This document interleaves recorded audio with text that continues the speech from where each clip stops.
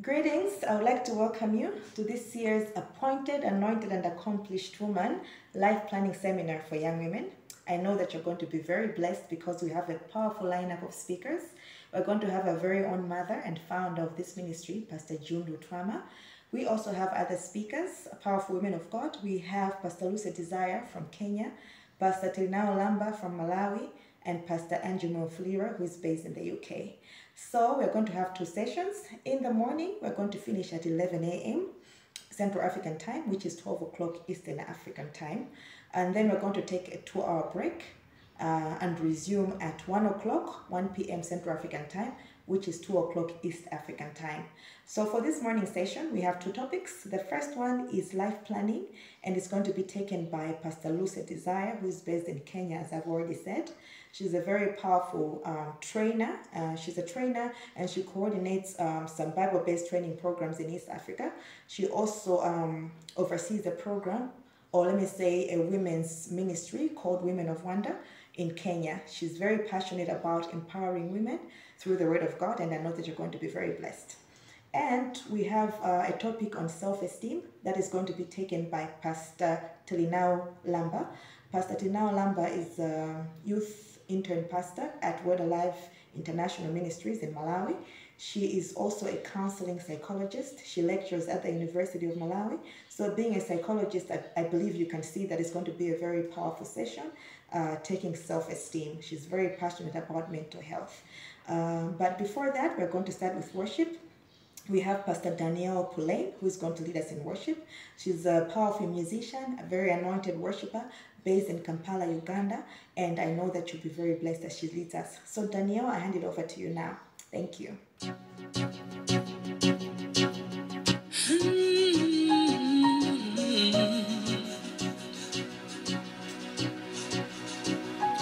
Yours, Lord. I am glad that I am yours,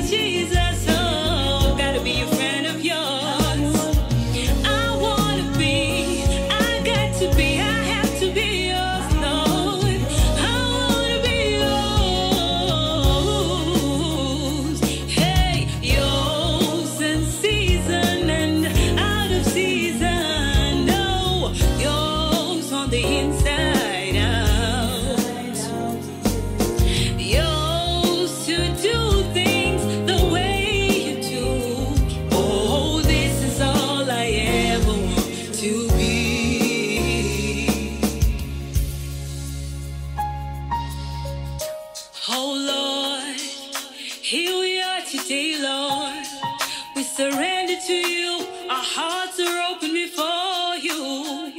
We give you our plans, our hopes, our dreams, our desires. Oh, may they fall in line with your love, with your word, with your plan, oh God.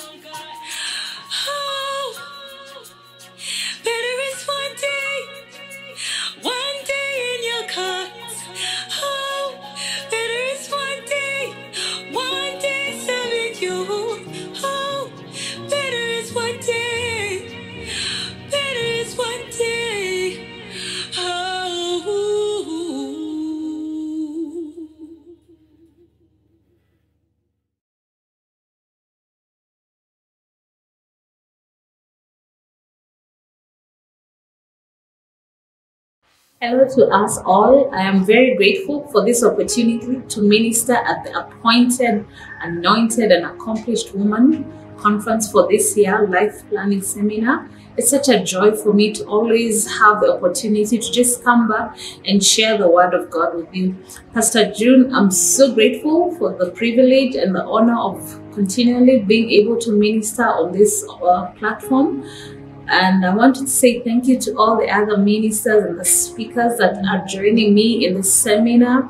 I want to thank God for all the viewers that are watching us. We bless God for this opportunity. I know you will not be disappointed. My name is Lucy Desire.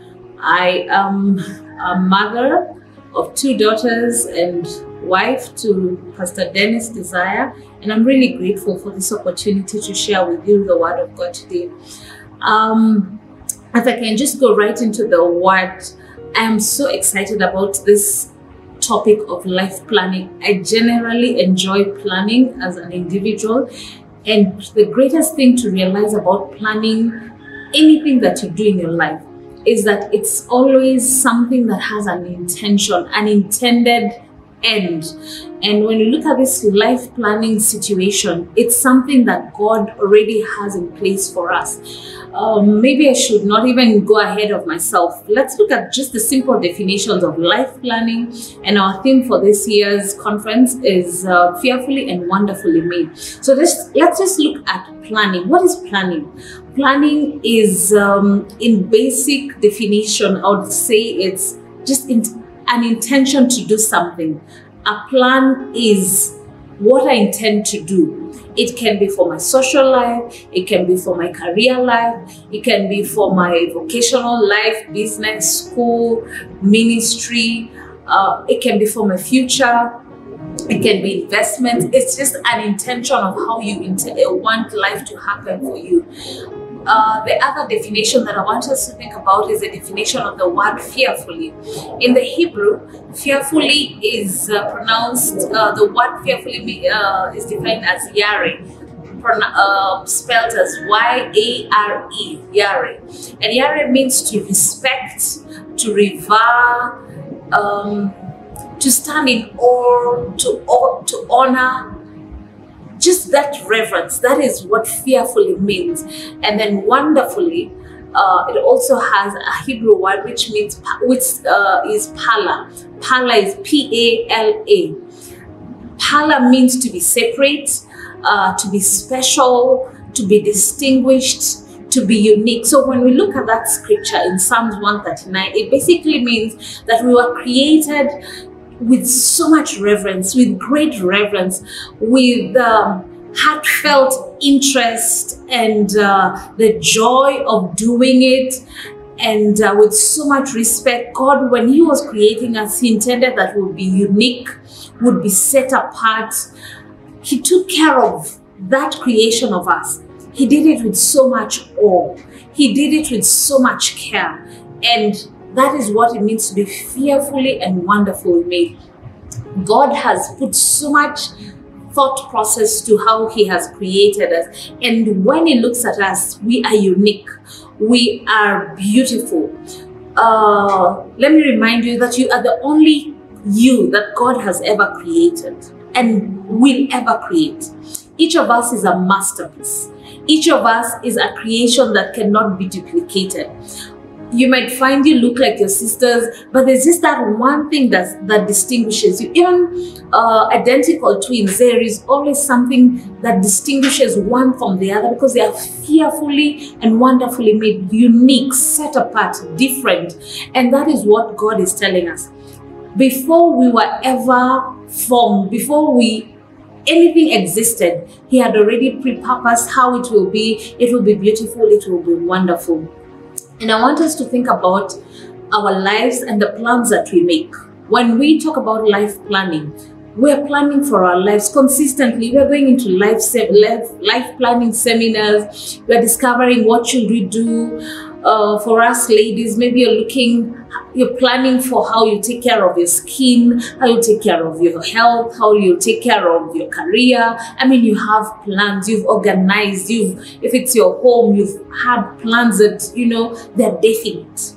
And that is the same way God has a plan for you. I personally enjoy gardening. And when I think about gardening, in my mind, when I think about planning, when I think about creating something, when I go into my garden, and for example, like vegetable garden or the flower garden, my idea of doing that farming, that gardening, is the end is always in mind. I begin with the end in mind. For example, the end in mind for me is to see beautiful roses. I'll think about how I want the background to look like, how I want the middle ground to look, how do I want the ground area to be, you know, to look. I mean, when I'm landscaping, my brain is giving me the end in mind. I want the final picture so that when I start the whole process, I will start with the seeds. I know when these seeds grow, this is the kind of flowers they will remove. They will have these colors, they will have this shape. Some bloom in the morning, others bloom all day, others bloom for a season. I already know those details and I place them in strategic places. I know the ones that drop down, I'll place them in certain pots so that when they start dropping down, I can see the beauty of it. And that's how God is with us. When He is creating us, He has the end in mind. He has a pre-existing plan for our lives. His pre-existing plan has all the details in place. And that's why when we go back to the scriptures, they're beautiful. I mean, the scriptures just show you how God had a plan from he already saw the end and then he began, he created with the end in mind. The same way I go to my flower garden and I know I want to see the ones on the wall here, I want to see this. I already have an end in mind. Then I start to put the pieces in place. As I put the pieces in place, I know there's some for the seedbed, some will be seedlings, some will be, you know, will be already grown plants, depending on the kind of plant that I get. So that is how God has planned for our lives. We can go together in Ephesians uh, chapter 2, verse 10. Ephesians 2:10. Uh, I'll read, I'll start from the message version. Now God, I'll start verse 7. Now God has us where He wants us, with all the time in this world and the next to shower grace and kindness upon us in Christ Jesus. Saving is all His idea and all His work. All we do is trust Him enough to let Him do it. It's God gift, God's gift from start to finish. It's God's gift from the start to finish.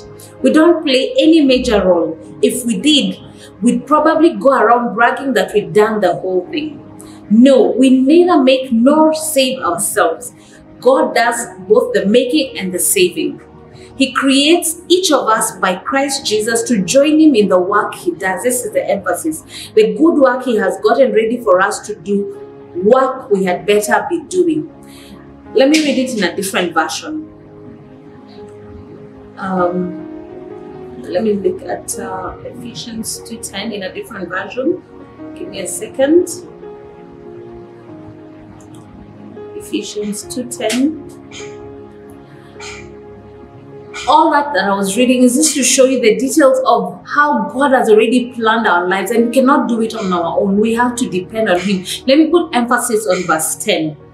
Uh, King James says, For we are His workmanship, created in Christ Jesus unto good works, which God hath ordained before which God hath before ordained that we should walk in them. It has already been determined, it has already been ordained what we should do, how we should live life. Amen. Let me read it in another version, easy English. It is God who has worked in us. He has made us what we are. He has made us what we are. He had already prepared good things for us to do, and He has joined us with Christ, with Christ Jesus, so that we can do those good things. That means there's already a plan that God has existing for us. All He needs for us to do is to join in with Christ and do the works that God has planned for us. There is a plan for your life. Your life is about the things that you need to do. Your life is about God's purpose for you, and it's already been ordained, it's already been done, it's already been planned for. Let me look at another version. For we are God's masterpiece. That's beautiful. Created in the Messiah Jesus to perform good actions that God prepared long ago to be our way of life. Can you imagine? Let me repeat that verse in the ISV version. For we are God's masterpiece. We are God's masterpiece.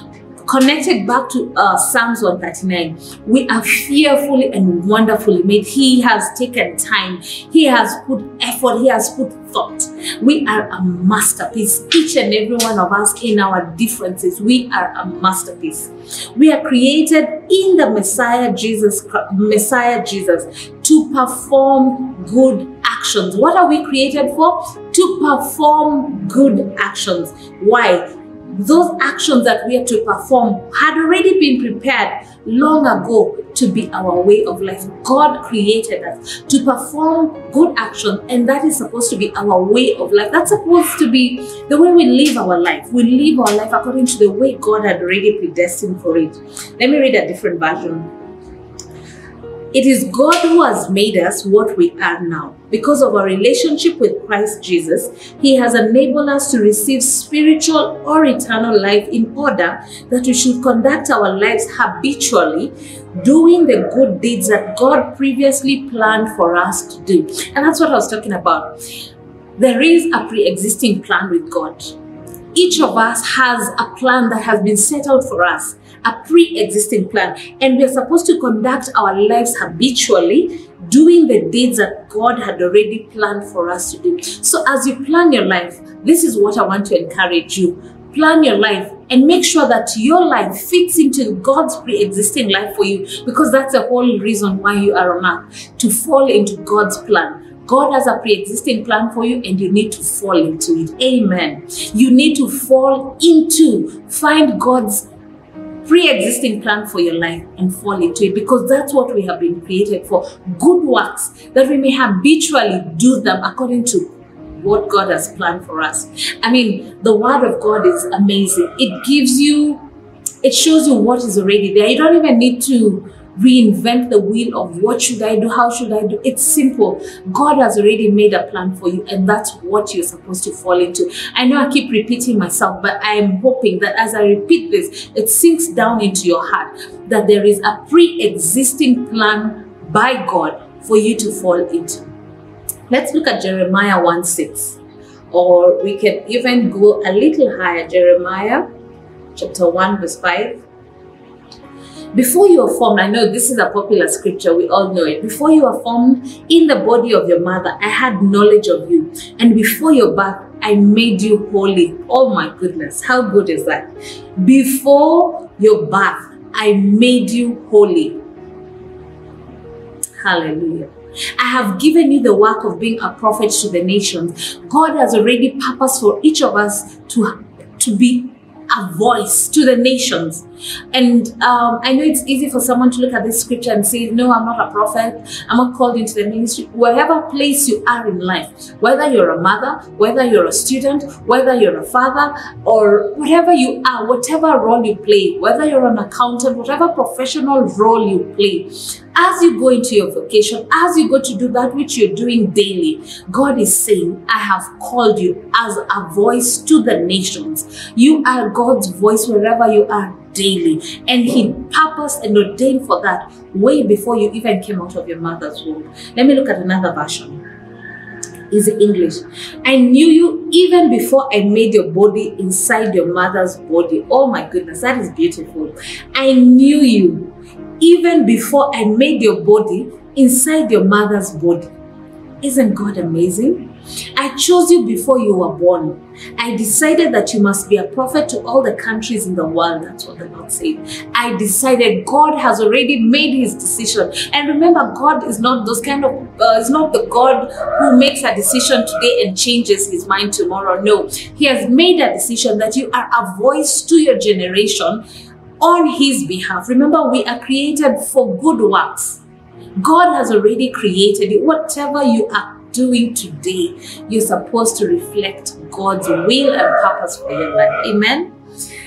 Let me read another version. I knew you before I formed you in the womb. I set you apart for me. Oh my goodness, that is beautiful. I set you apart for me. Today, ask yourself whatever you are planning for your life, is it for God? Because He has set you apart for Him, He has set you apart for Himself. Whatever you are doing, whatever plans you are having in your life, are they for Him? Let me continue. I set you apart for me before you were born. I appointed you to be a prophet to the nations. Can you imagine? Not it's it's not even a democratic choice or um, a voting process or you know it's an appointment. He picks you out of the crowd, and I love the fact that you as a lady watching me today from appointed anointed accomplished woman you are appointed you are appointed by god to be a voice to the nations let me read the last version i knew you before i finished forming you in your mother's womb before you were born i set you apart i chose you and I appointed you to be my prophet, whose messages will be for all the nations. Another version says, Before I formed you in the womb, in the womb, I knew you, and before you were born, I sanctified you. Hallelujah. And I have appointed you a prophet to the nations. God has already put out his pre-existing plan for you. He's already said it in His Word. I mean, I've gone through all those versions so that you can hear it. Faith comes by hearing and hearing it again by the Word of God. And this is what the Lord is saying I have formed you, I have a pre existing plan for your life. So, whatever life plans you are making, ensure that your life plans are according to my plans for your life. Let me look at another version. Let's look at uh, Jeremiah 29. Jeremiah 29. Jeremiah 29, verse 11. For I know the plans that I have for you, declares the Lord plans for well being and not for calamity, in order to give you a future and a hope. I mean, how better can I explain that? I know the plans that I have for you. So, thank you for making your plans, but God has plans for you. I go back to the example that I was giving you for my flower garden and my vegetable garden those plants are planning to grow and give me beans and give me spinach and give me roses and give me carnations and all those beautiful plant, flowers and plants. However, I have a plan for those flowers. I know where they will be placed. I know which ones colors I need. I know how they will be potted and all those things. They plants have a plan to grow. However, I have a bigger plan for them. I already intended how they will be set up. And that's how God is. He already knows how you will be living your life. But you can continue with your plan, but ensure that your plans fall in plan with God. Because when they don't, you can easily be cut off. Let's look at another verse. I, Yahweh, know what I have planned for you. I'm planning to cause things to go well for you, not to cause you to experience disasters. I am planning to give you many things that you confidently expect to receive in the future. God is beautiful. I mean, He's already set out how our lives will be. He's already planned how we will live our lives. He has a plan for our future, and He's amazing. And He keeps telling us what He do, He will do for us. Let me look at Jeremiah, uh, the message version. This is what this is God's word on the subject. As soon as uh, let me skip uh, verse uh, ten, I'll show up and take you up. I'll show up and take care of you as I promise and bring you back home. I know what I am doing. I love that. I know what I am doing. God is telling you today, I know what I'm doing. I have it all planned out. Plans to take care of you and not to abandon you. Plans to give you the future you hope for. And how do we find that plan? How do we find God's pre existing plan? Let's go down to the next verse, verse 12. It says, When you call on me, when you come and pray to me, I will listen. So I know someone is asking, okay, thank you. You've told us there's a pre-existing plan for the from the Lord about our lives, but how do I know His pre-existing plan? God is giving you it, giving it to you in verse 12. He's saying, when you call on me, when you come and pray to me, I will listen. When you come looking for me, you will find me. Yes, when you get serious about finding me and want it more than anything else, I'll make sure you won't be disappointed. My goodness. What a scripture. I'll do it. I'll read that scripture again. And the question we are asking how do I find God's pre existing plan for my life? How do I know what God's expectations are for my life? You can only find something when you search for it. And God is giving to us in verse 12, He says, When you call on me, when you come and pray to me, I will listen. When you come looking for me, you will find me. Yes, when you get serious about finding me and you want it more than anything else, what is God saying? He will make sure you will not be disappointed. I mean, God's word is so nice. Ah, it's just beautiful. He says, You want it? You know, I have it. I'll give it to you. There's a way I'll give it to you when you want it so badly, more than anything. I'll make sure you are not disappointed. I mean, I'll make sure your, your hopes are not dashed. And that means that we need to take care of our thoughts. It means we need to take care of what we meditate on because for us to know God's plan, that means we spend time in the Word. You know, there is a study that has been shown about people who spend time in the Word. Their memory is refreshed. They're at peace. They're at rest because there's a way the Word of God just refreshes you. The pressure levels are low. They are saying that people who spend time in the Word and genuinely enjoy God's presence. Sicknesses is, are reduced. Um, I was looking at a study some time back about people who are who have clocked 100 years and above, and most of them, if not all of them, kept talking about a relationship with God. A place where you and God have such tight intimacy of relationship and communication that there is nothing that can overwhelm you when you are with God. That's what I'm calling us back to. As we plan our lives, I want us to remember that God has taken so much time to just create us fearfully, wonderfully. He's set us apart. He has, you know, He's made us with so much reverence and awe. And He looks at us and is thinking, wow, this is a masterpiece. This is what this creation is supposed to do fearfully and wonderfully. And I want us to put that at the back of our minds. If God has created us fearfully and wonderfully, then what is our role? Our role is to fall into place in His pre existing plan. So today I want to encourage us. I don't want you to give up on life, I don't want you to be discouraged about anything in life because God has already set out His plan for you, and He says, in His plan for you, you will not be disappointed. You will not lose hope. Keep hoping and believing and trusting in Him. Keep your faith in Him. I want to give you examples of people in the Bible, and we all know that even ourselves, we go through so much sometimes. But let me give you an example of Paul. I think it's in Acts 18, um, if I'm not wrong, verse 5 to 11 there. But what happened to Paul? He already had a plan. He was in Corinth.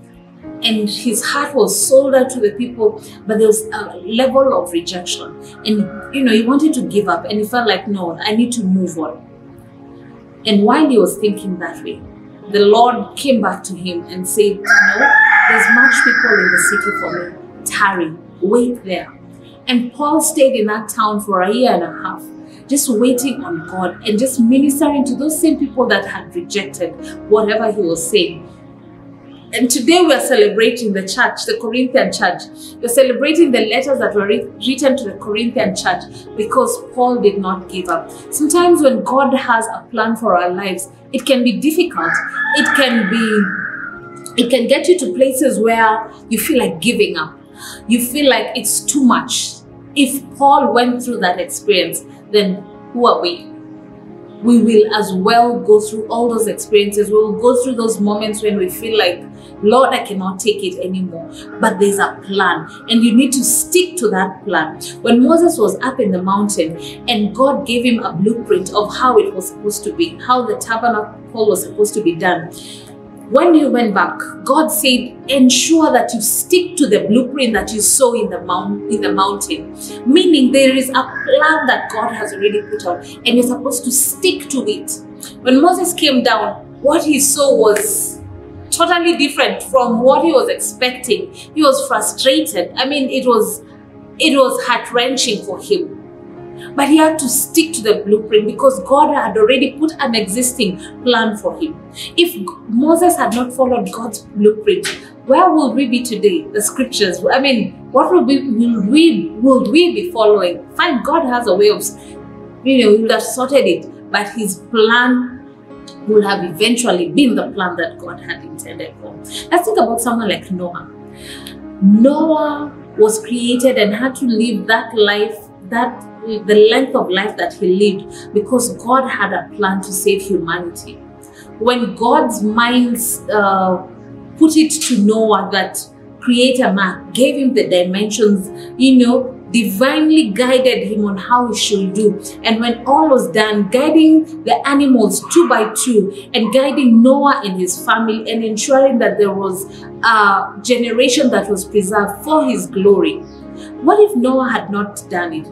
Do you want to tell me it was easy for Noah? No, there was no rain before that. I mean, the experience was totally not there. There was nothing to relate to but he had to follow God's plan. And what happened when he followed God's plan? Everything fell into place, and that applies to you. There are many times in life, as you go through life's journey in marriage, in uh, school, in your ministry life, in your vocational life, in your business, in your career, whatever it is, in your investing, in your financial management there gets a time when it's so discouraging, it's so overwhelming, and you feel like I cannot take this anymore. God is reminding you today you have to stick to the blueprints that He gave to you. That thing that you know deep down in my Noah, this is God. That is where God wants you to stick to. If you look at all the inventions that have been done in life, all of them can be attributed to a calling, that still small voice that someone says, I knew it. I was there meditating and I just felt I need to do this, I need to do this. And I mean, creation and ideas and inventions have come when people listen to that still small voice, when they listen to that plan that God has already put in place and fall into his pre existing plan. Let's look at someone like Ruth and Boaz. Tell me, if Ruth had not insisted to go with Naomi, if she had not insisted and said, Your God shall be my God and your people shall be my people, the generation of Christ is from Ruth and Boaz, from Rahab the harlot. God doesn't mind who you are and your background. It's about falling into plan, His pre-existing plan, and that's where the victory is. And sometimes we will err in our plan, but as we err, God has a comeback plan. I'm reminded of David uh, when they were carrying the Ark of the Covenant from Obed Edom's house, and the, I forget his name. That guy touched it, and he was struck. And God is reminding us, do it according to my plan. I already know how I want my plans to be. So sometimes some of us have been struck, some of us have been affected, some of us have gone through tragedy and pain, not really because, I mean, it's because at some point someone did not follow the plan. But God is calling us back. He's saying, I have a plan, a pre existing plan, and a beautiful plan, and I want you to fall into it. I want you to be encouraged that if Abraham did it, you can do it.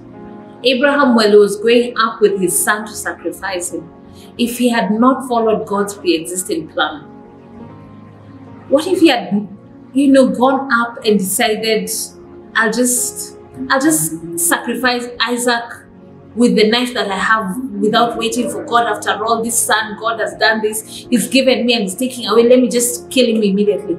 If he was not listening to God's voice, where God said, No, don't touch that boy, there's a ram in the thicket. That ability to be able to listen to God and to hear His voice is what we are, God is calling us to do. He knows that sometimes as humans there's a lot of noises and clatter and things distracting us, but God is calling us back to Him. He's saying, Follow my word, walk in my ways. You know, go back to Jeremiah 29, verse 12, where He's saying, Call on me, I will hear you. I will listen to you. I will not disappoint you. I will be there and ensure you get the future that you are expecting. So may the Lord strengthen us. May the Lord encourage us to just walk and wa- do according to his plan and purpose. God's will for us is to do the Great Commission. The Great Commission is to make disciples, and that's why I'm calling us. Are fearfully and wonderfully made for a purpose. When you have that item in your house, it has a purpose. There is nothing in life that has no plan and purpose. Everything that is around you has a plan and a purpose that you have planned for it, and that's God's plan. He has made you fearfully and wonderfully so that all those life plans that you're having for yourself can align to His pre existing plan. My call today is let's fall into God's pre existing plans for us. Purpose in your heart that you must walk according to His calling. Purpose in his in your mind that you must accomplish God's purpose for your life in this generation that you'll put your gifts to work make sure all the gifts and the talents that God has placed in your heart that they will work for his glory make sure you achieve that which you have been called to do and my final word would be find the you that God made fearfully and wonderfully Find the you that God made fearfully and wonderfully.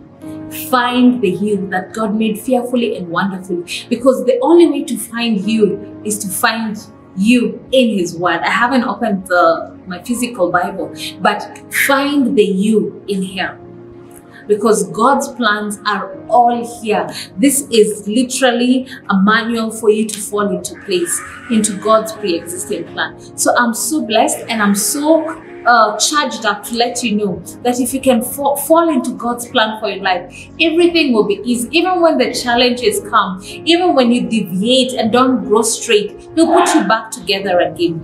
If, for example, I'm planting a tomato and for some reason it's overwhelmed, I'll come and string it up, I'll put it up back onto the trellis and it will grow again because that's what the you know, I take care of it. And that's what God will do for you. When there is any deviation, He'll put you back together. So may the Lord bless you and encourage you and strengthen you. I thank you. Amen and amen. I'd like to pray for us just as I wind up. Father, in the name of Jesus, I want to thank you for all our viewers. I want to thank you for all the people that get an opportunity to listen to this word. I pray that you encourage them. I pray that you, you strengthen them according to your word. You say you have a plan for us. May that beautiful plan that you have for us, may you enable us because your word says you cause us to both to do and to will of your good pleasure. May that be our strength, that we'll be able to do and to will and to do of your good pleasure as we plan for our lives, as we plan for our families, as we plan for our careers, and everything that we put in plan. Father, may it fall according to your pre existing plan. May your name be glorified and magnified forever. In Jesus' name, the Lord bless you. All right, welcome back. Uh, right now, we're going to take offering. So um, the details are going to be on the screen uh, on how you can give in Malawi, in Uganda, as well as other countries. So as you're giving, I would like to make a few announcements. Uh, first of all, I'd like to inform you that from the 24th of this month to the 29th, we are going to have a week where Pastor, or let me say Reverend Toya Masiko, is going to be teaching on abuse. So it's going to be online on Facebook and WhatsApp starting at 7 p.m. CAT, 8 p.m. EAT every day uh, for those five days. I know that you're going to be blessed, so plan to be a part of it. And on the 30th of this month, we're going to have a time of prayer and fasting. We're going to be praying for families. We will also be led by Reverend Masiku, as well as our own mother, Pastor June Lutwama. So please plan to be a part of these programs. We also have an eight week mentoring program for young women that's going to start on the 3rd of May.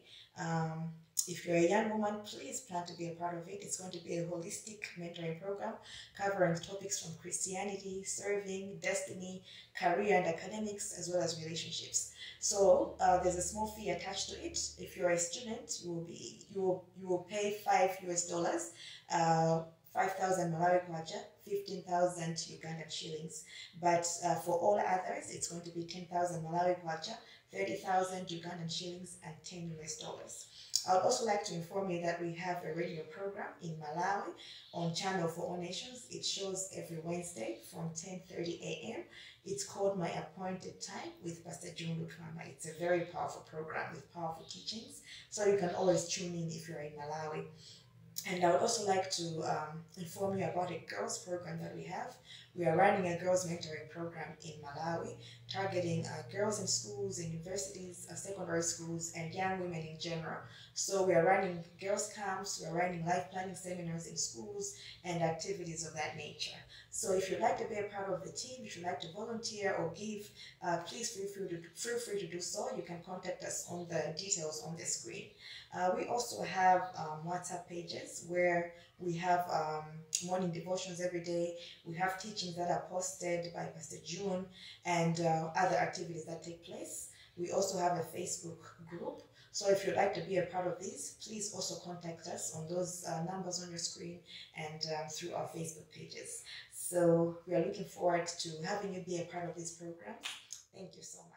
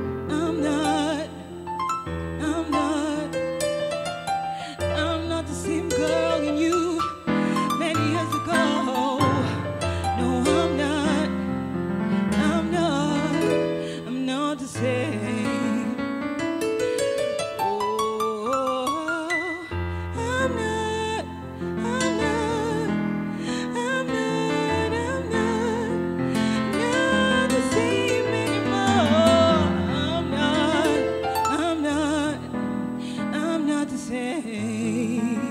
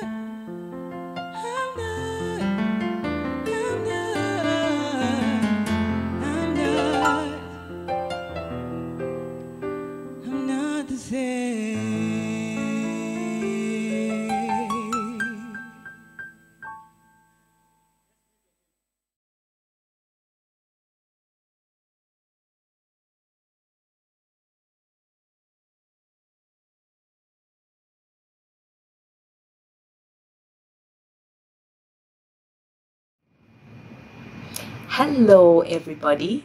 Greetings to all of God's gals. I am Tilinao Lamba. I am a counseling psychologist, a university lecturer at the University of Malawi in the psychology department. I am an intern pastor with Word Alive Ministries International and just an all round advocate for issues to do with mental health. So, I am here today to share on an issue that is so dear to my heart the issue of self esteem and how it can affect every area of your life. How you make plans for your life, how you interact with other people, the way your career is going to be run or directed, all of those kinds of things can be impacted by issues of mental health. So I am so grateful that you are all going to take the time and we are going to look into God's Word together and share about what the Lord is telling us regarding issues of self esteem. So, before I begin, allow me to just take this opportunity to thank appointed, anointed, and accomplished woman for giving me this platform and this opportunity to talk to everybody out there who is tuned to this to this particular seminar. Thank you so much to Pastor June all of the wonderful ladies who have been planning this event tirelessly. I pray that this will be an opportunity that God will speak to us all and really just give us a lesson on how we can conduct our lives as His children. With that being said, I believe the best place to start is to go into prayer. So we're going to pray. Dear Heavenly Father, we thank you so much for this time that you have given us to share from your word and to get wisdom from you. I pray, dear Lord, that may you use me as a mouthpiece. Help me, Lord God, to convey your heart. In Jesus' name we pray. Amen and amen. We are going to be talking about the issue of self esteem what it is, what it isn't, um, how you know what the state of your self esteem is, and how it can affect your life. So, so the first question that I would ask anybody, and I'm sure other people are asking, is what exactly is self-esteem? Because it's one of those words that a lot of people share or a lot of people mention, but then we might not really know what it means. So, self esteem is your overall opinion of yourself essentially, um, or how you value yourself. You know, the word esteem means to value something or to put um, put some kind of weight on something. So that is essentially what self-esteem is. It is the esteeming of yourself. How much do you value yourself? How highly do you think of yourself, or um, how you feel about your own abilities, your own limitations?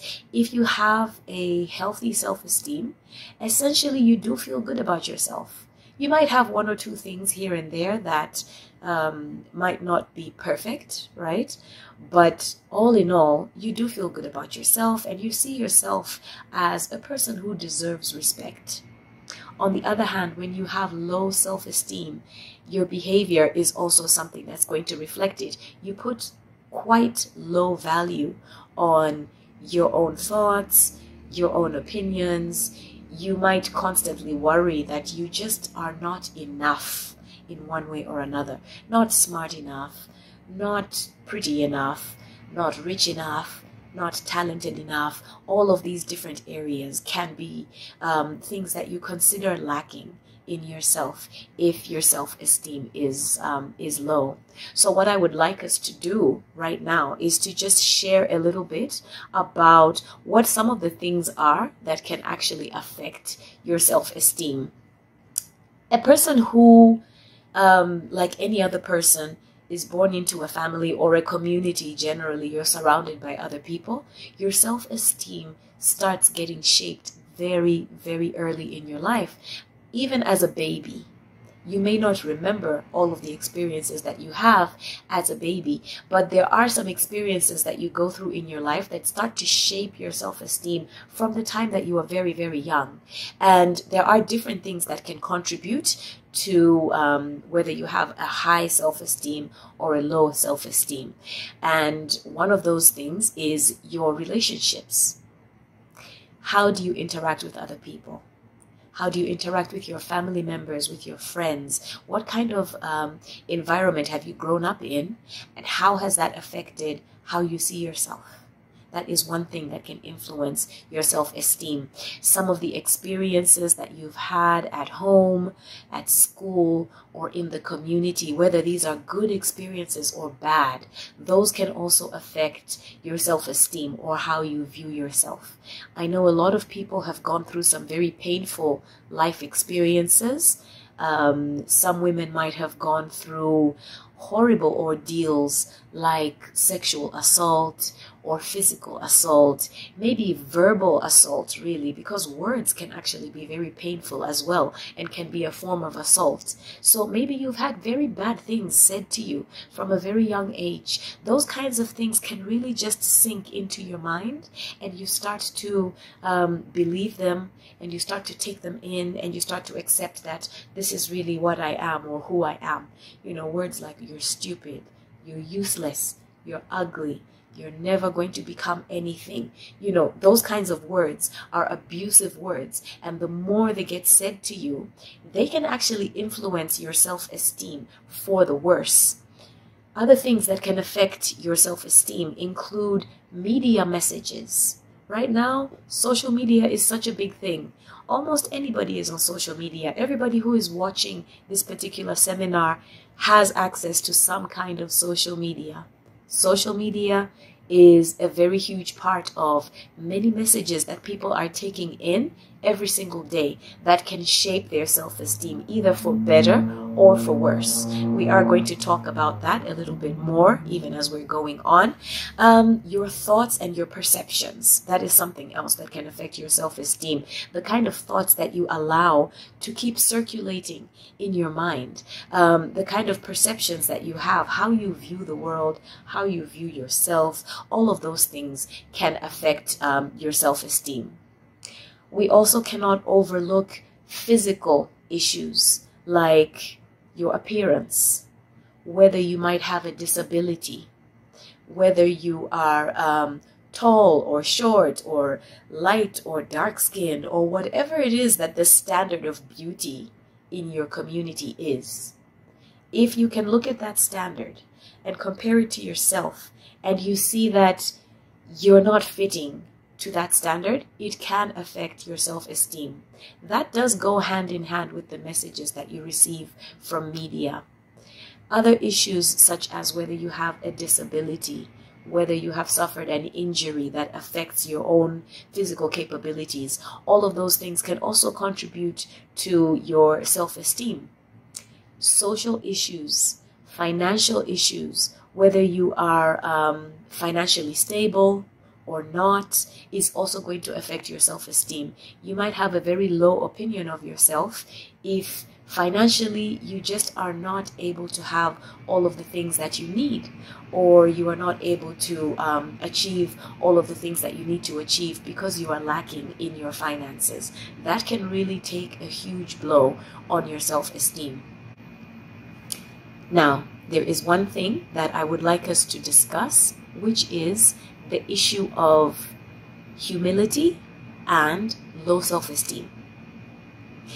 Christianity puts a lot of emphasis on humility, and every Christian is encouraged to emulate Jesus Christ, who is our ultimate role model. And he was the most humble in the way he lived his life and the way he gave up his life for the sake of our own salvation. Now, when we look at his life, I'm sure we can say that he was humble. But I don't think any of us can say that he had a low self esteem. You see, low self esteem and humility are two very different things. Somebody who has a low self esteem is somebody who does not view themselves in a positive light or they do not appreciate the, the good things about themselves. On the other hand, somebody who is humble is a person who does not consider themselves better than everybody. That is essentially what humility is. You view yourself as being no better than anybody else. You are at the same level, particularly if you look at your value in the eyes of God. You do not consider yourself to be any more special, um, any more important than anybody else because we are all human beings all of us created in the image of God, all of us equally important. Jesus died for you just as much as he died for me. So that is a view of humility.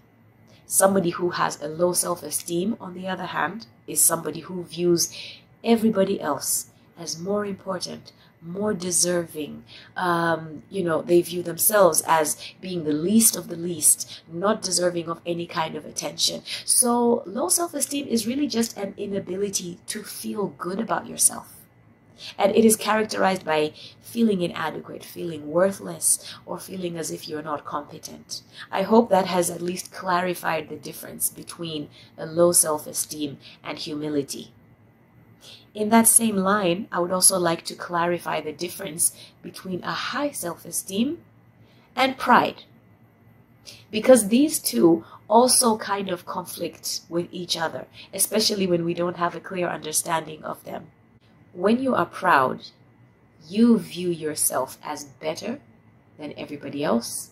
Nobody can compete with you. There is nobody that actually deserves any respect more than you. That is essentially what pride is.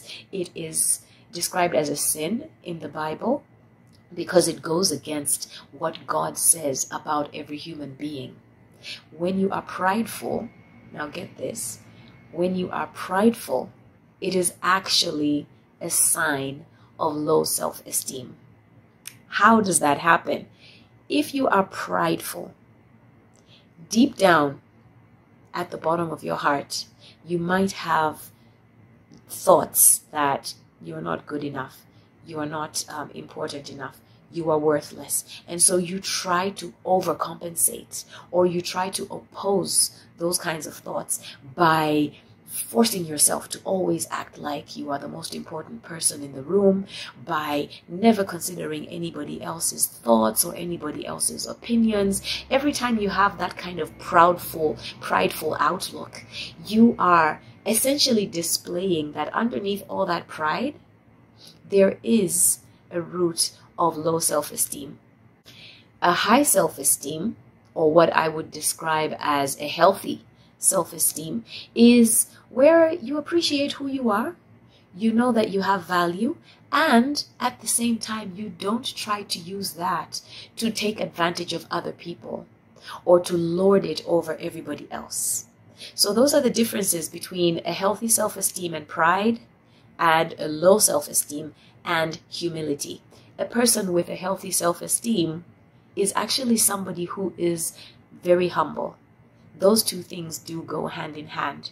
Now, I would like us to just consider some examples from the Bible of women and how they manifested their their, their self-esteem, whether for the better or for the worse. I do have some examples of women that I'd like to quickly um, discuss. We have Mary of Nazareth, otherwise known as Mary, the mother of Jesus. I truly believe that she is one of the people who manifested a healthy self-esteem why do I say that? When the angel Gabriel came to tell her that she is going to bear the Son of God, she was able to be humble enough and to show her loyalty to God and accept to be used in that manner. This shows that she had a relationship with God. I don't know about you, but I can't imagine anybody who doesn't have a relationship with God receiving an angel being told a message that you're going to bear the Son of God, and that person just says, All right, let it be unto me as you have said, that's impossible. If you don't have a relationship with God, it is absolutely impossible that you would say that. That's why I actually do conclude that Mary had a very good relationship with God and she was God fearing. She was obedient and she also lived her life in a way that showed that um, her life and her purpose is actually based and rooted in God. Another example is Hannah in First Samuel. Now, Hannah comes onto the scene as a victim of bullying because that is exactly what was going on with Hannah. Her co wife, Penina, or Penina, depending on which side of the globe you're on, her co wife used to constantly harass and tease her and mock her because she didn't have children, and Penina did. And it got to a point that Hannah's self esteem was so low she used to cry all the time. She was sad all the time. She would go to the temple with her husband and wouldn't even have any appetite to eat. I actually believe Hannah might have been depressed just looking at those few verses that describe how her day to day life was. But Hannah did something very different that turned around her self esteem. She turned to God. She was prayerful she prayed to God and she asked God to help her resolve the root of this issue that is constantly coming back over and over again. And we know the end of it. She was able to give birth and not only to Samuel, who is perhaps the most famous of her children, but she did have other children after that. Now, keep in mind, it wasn't the children that raised her self esteem, it was the fact that she prayed to God and God answered her. That was the thing that elevated her self esteem. And we cannot talk about self esteem without talking about Queen Esther. I really think this one is one of the best manifestations of somebody who has a high self esteem, yet at the same time is humble. Queen Esther um, came from humble beginnings. She was an orphan. She grew up with her cousin in exile. I don't think there is any other combination that could have been worse or um, a, a, different, a, a worse kind of humility from her beginnings. But she was selected among so many other beautiful women in that kingdom to be the wife of the king. And she did not forget where she came from. Her humility remained intact, but she was able to stand up and speak up for her people when the time required it. So those are all examples of people who manifested a high or a healthy self-esteem, even though they might have gone through life's challenges. Now, the reason why self-esteem is such an important issue to talk about is that issues of self-esteem affect every area of your life. They affect the kind of relationships you have. When you have friends, you either have good friends who build you up, who encourage you and support you, or you have the kind of friends who are toxic, they tear you down, they never support you, and they always want to one up you. Depending on your level of self esteem, you can actually dictate which kind of friends you want to have in your life and which ones you don't. Because at the end of the day, that is completely in your hands. If you have a low self esteem, you're not very able to maintain healthy boundaries. You could allow people to walk all over you, to mistreat you, to be toxic towards you, and you are tolerating and putting up with it. A person with a healthy self esteem is able to put up a boundary and say, This is not going to happen to me anymore.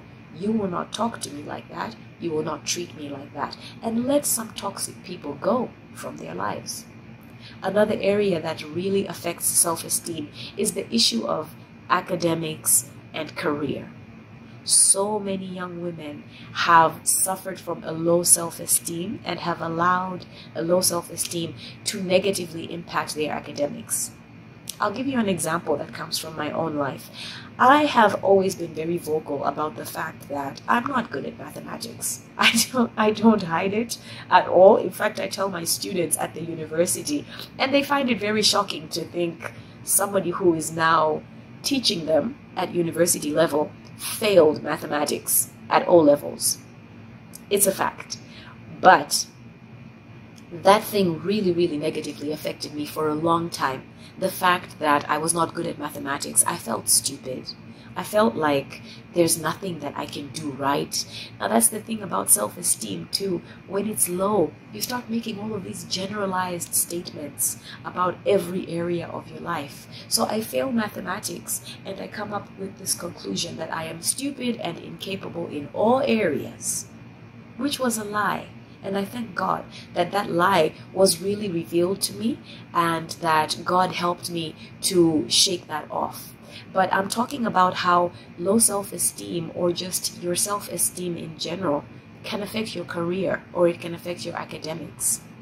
Depending on your level of self esteem, if you meet a challenge academically, if you don't pass as well as you wanted to in a particular subject, if you meet a challenge in your career, you don't get a certain job or you don't get a certain promotion, your self esteem is going to be the thing that will dictate whether you're going to pick yourself up and try, try again, try harder, find new solutions, or curl up somewhere, cry your eyes out, and decide to give up.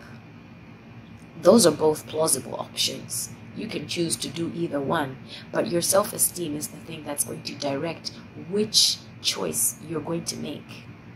Your self esteem is also going to affect your motivation. How motivated are you to work at something, to put in effort? How motivated are you to reach out to other people, to form connections, to form networks in the particular thing you want to do?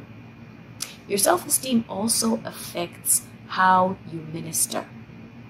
People who minister are also very much affected by issues of self esteem. Pastors, prophets, bishops, any kind of ministry, any person who is actually working for the Lord in one way or another is a very ripe target for the devil to bring down their self esteem. The devil is very good at trying to distract your thoughts and make you think about your own personal weaknesses and all of the reasons why you are not good enough to serve God, you are not good enough to do this work. So, your self esteem and how much work you're going to do for the Lord, those two things are very closely connected. Every time you have a chance to think about your own life and whether you are um, a suitable person to serve in the kingdom of God, the devil will come in with statements about your past, right? about your weaknesses, about the things that you're not capable of doing, about all the other people who can do it better than you.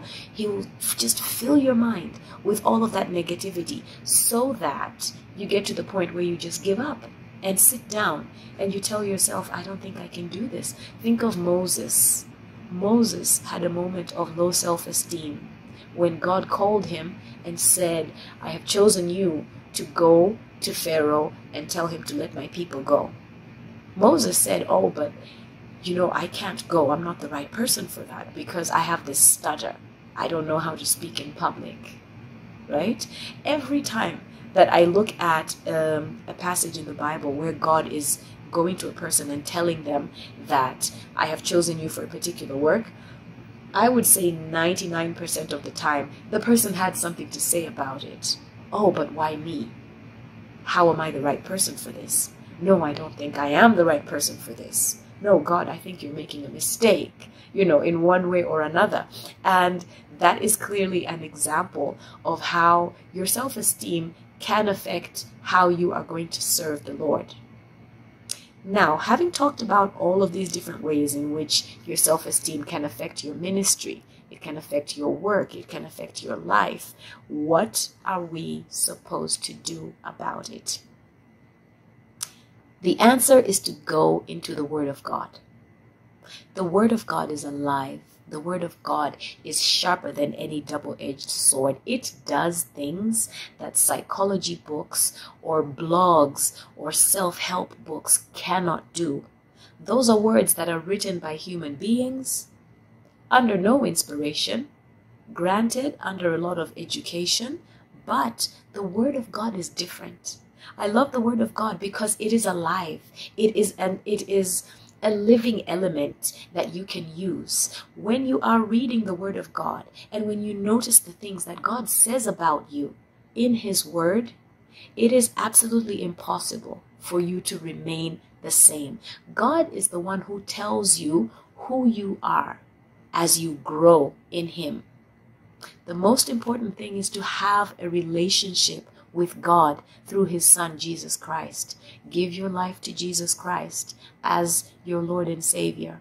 When He comes into your life, He starts making all things that were stale and bad and worthless into new things.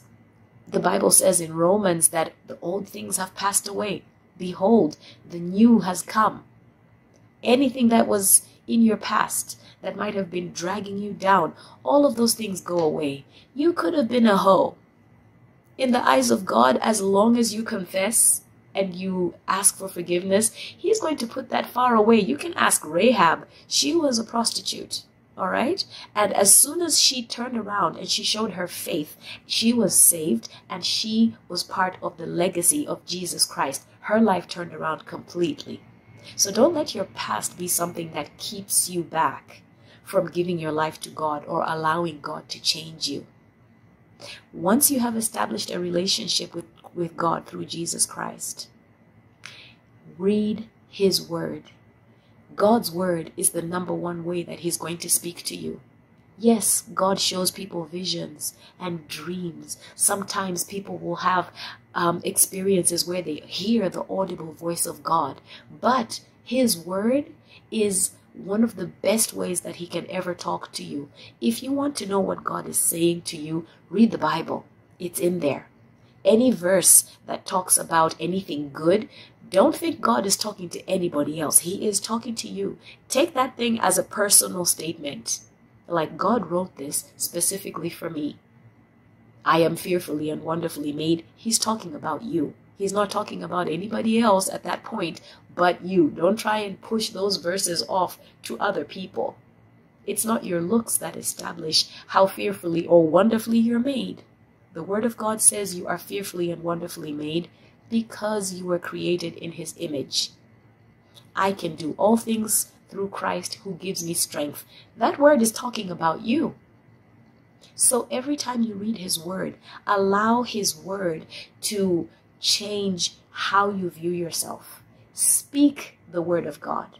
Don't just read it and then keep it in your mind. Speak it out loud. Look at yourself in the mirror and say the words that you read in the Bible. Tell yourself, You are fearfully and wonderfully made.